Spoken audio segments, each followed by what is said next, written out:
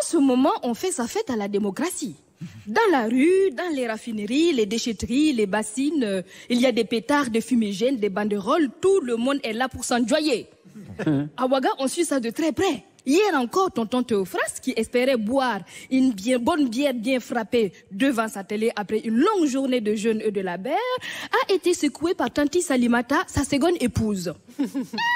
Ah, Mais ça, c'est quel mari, ça, encore, qui laisse sa femme tout faire à la maison?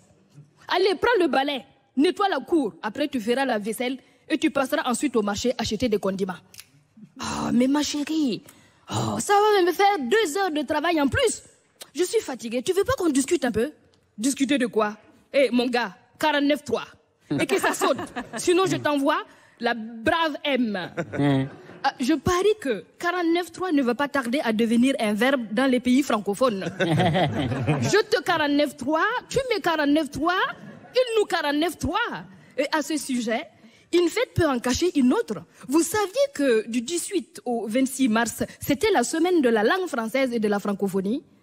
Ah, c'était émouvant pour moi car figurez-vous que pendant cette semaine, j'ai fêté l'anniversaire de mon premier passage à France Inter. Ah oui, c'était le 24 mars 2017 dans l'émission Le téléphone sonne consacrée ce soir-là justement à la francophonie. À l'époque, je ne connaissais pas France Inter et j'ai failli même décliner l'invitation. tu déconnes ou quoi? m'a dit mon mari. France Inter t'invite et toi tu fais ta chochotte? Mais j'y connais rien moi à la francophonie. Bref, me voilà dans le studio de France Inter, entre l'immense Bernard Pivot et le grand linguiste Bernard Siklikini, à chercher quelque chose d'intelligent à dire. Je me sentais à l'aise entre les deux Bernard, comme la rédaction d'une écolière africaine, coincée entre les œuvres complètes de Proust et le dictionnaire de l'Assemblée de l'Académie française. Oh, À chaque question, je répondais euh, tout à fait. euh, je suis tout à fait d'accord avec ce que Bernard vient de dire. Euh, je répétais ce que disaient les Bernards.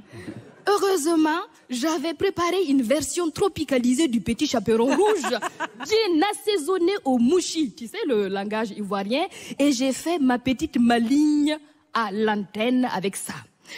Il était une fois une petite fraîchenie, la plus jolie go du village.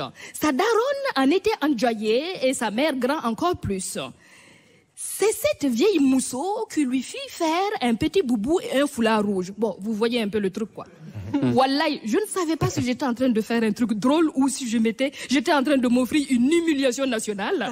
Mais en tout cas, ce qui est sûr, c'est que quelques jours plus tard, Charline, à qui on avait parlé de ma prestation, m'a appelé et m'a proposé de faire ma première carte blanche dans son émission. Bingo! Oui, c'est donc à la francophonie, entre autres, que je suis ici aujourd'hui.